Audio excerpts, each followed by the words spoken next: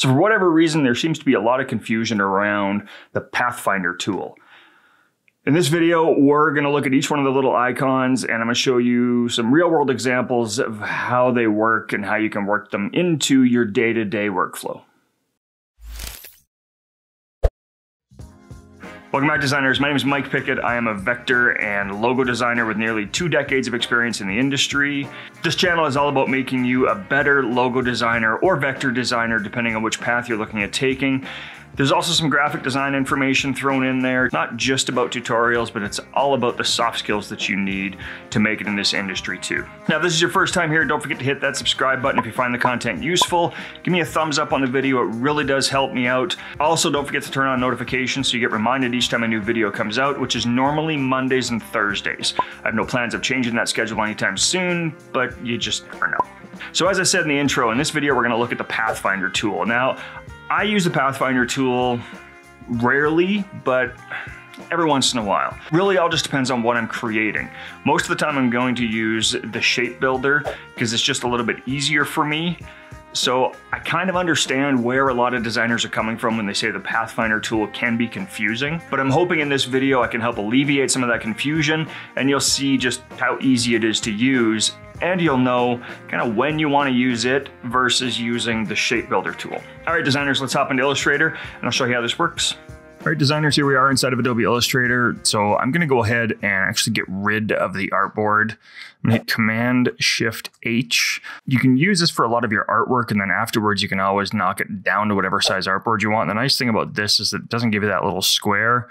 So if I Command minus out, there's sort of the the full boundary that you can get inside of Adobe Illustrator. We go Command Shift H again. So there's my actual artboard.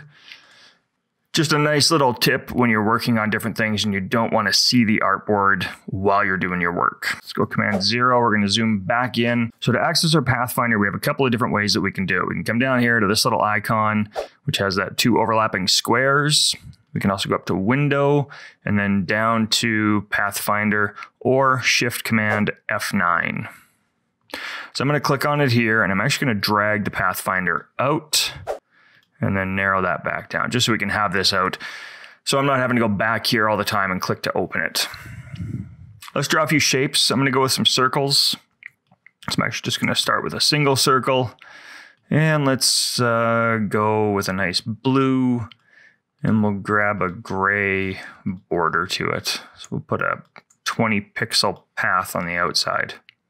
All right, I'm gonna duplicate this. I'm actually gonna use the rotate tool. So I've hit R on my keyboard and I'm going to Alt or Option click on this anchor point and we'll just do a 90 degree rotate. I'm gonna go copy. And I'm gonna hit Command D on my keyboard twice just to give us a few circles. So I'm gonna highlight all of them and just drag them down here. All right, so let's start with the first option that we have. Now you'll notice we got two different modes here. So we have shape modes and we have pathfinders. So these shape modes are gonna help us combine, unite, divide, and subtract different parts of our shape depending on what we wanna get rid of. So for this first one, I'm gonna highlight all four of them. And if we click on this first option for unite, you'll see that it actually takes all of them and unites them into one solid shape. Pretty simple so far. I think most people have used unite. A lot of you has probably also used minus front. So we have two different shapes here. This one, of course, being in front of this one. So if I highlight both of those and hit minus front, it's going to get rid of that front shape. Now, if I use this and go unite, and if we were to say grab some round corners on it, round caps, there's a logo there somewhere. I'm not exactly sure what company it would be for, but if you were to sketch something out and needed to make a shape like that, that's one way to do it. Let's go Command Z, get back to our normal shape here, go back. So that's minus front. Now this next one, you see the two little squares and you've got the lines and then there's that dark shape in the middle. So what that's gonna do is intersect. So with intersect, what we do, let's take this one and this one. We should end up with just this middle shape left. So let's click intersect and you see we get that. So if we take this, give it a rotate, there's a couple of blueberries with a little leaf. If we take this, just change that to green, add a couple of highlights on it. Very simple logo. So let's back up again, Command Z.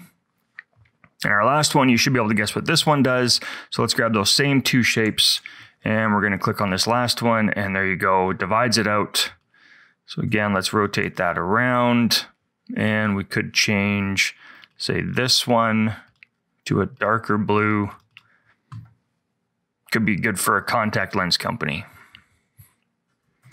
All right, so there's our first four basics, right? So unite, then we have minus front, which of course gets rid of the front piece. We have our intersect, and we have our exclude, which gets rid of the piece in the middle. So moving down to our pathfinders here. So our first one is divide. Let's highlight all four of these. And I'm going to hit the divide button. I use this one quite a bit because it lets me get rid of shapes, right? So everything is all separate now. Now the key with this is that you're also going to have to hit Shift Command G to ungroup everything before you start working with this. So the nice thing about this is I can get rid of a few of these shapes.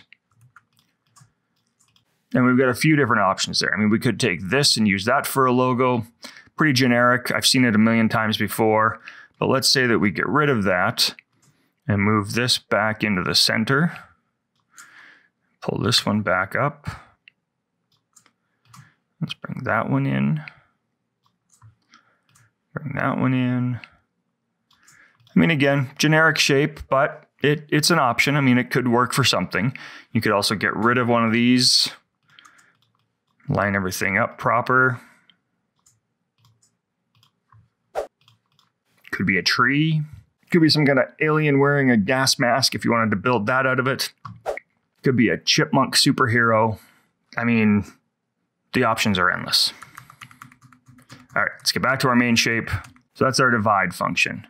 Now our next one here, you can see is trim. So let's grab just these two. I'm gonna hit the trim one.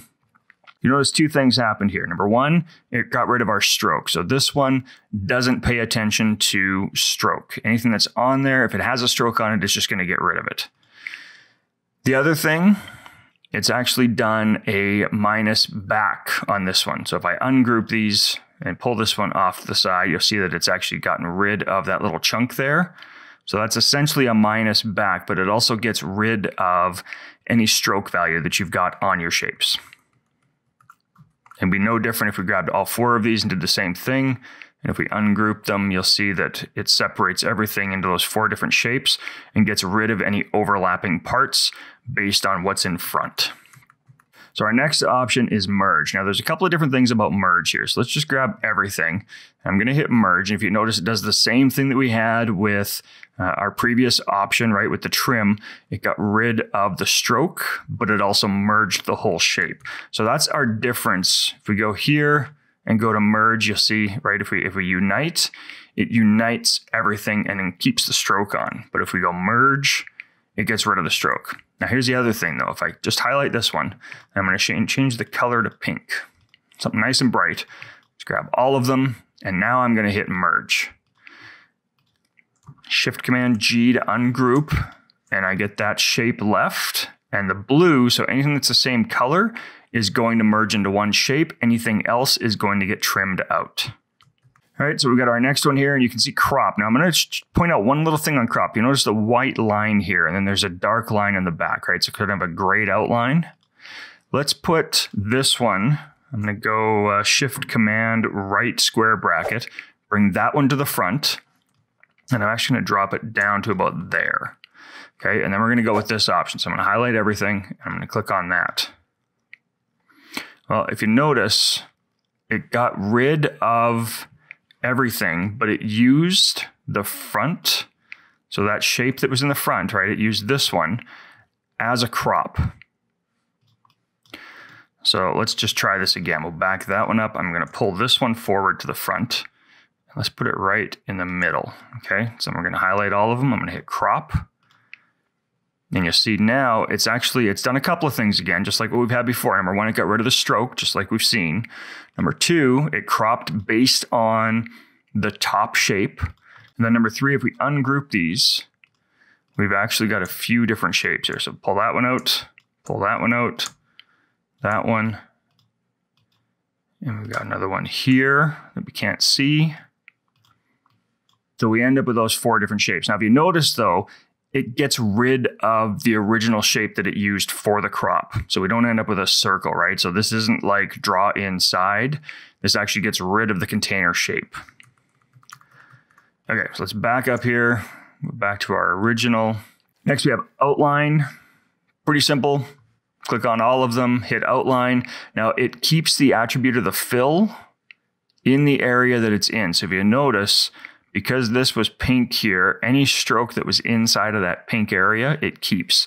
So let's go over here and we're going to pull this up to, let's say 15 stroke.